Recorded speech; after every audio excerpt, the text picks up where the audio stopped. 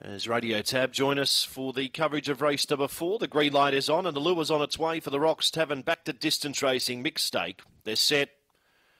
Ready and racing this time off the inside. Springvale Anna showed good speed out of the boxes today. Stella Stone up to second. Border runner to third. Now the favourite whole ways back to fourth. Didn't show any dash today. Last of all is Golden Lester round into the home straight the first time. Springvale Anna by five lengths. Stella Stone's in the second spot. Two away to whole way. The favourites in third starting to close in.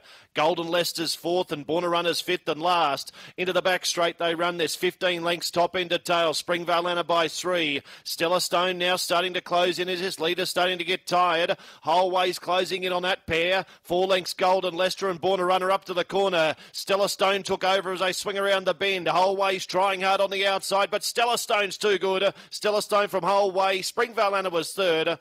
Fourth over the line then came.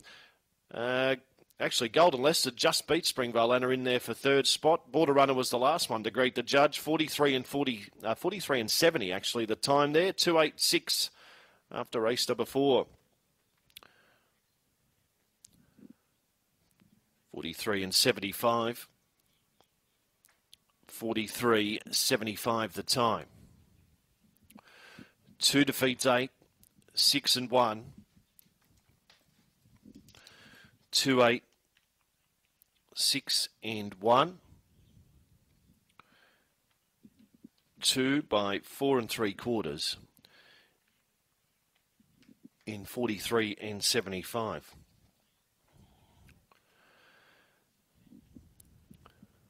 Winner number two, Stella Stone, a dark brindle bitch by Fernando Bale.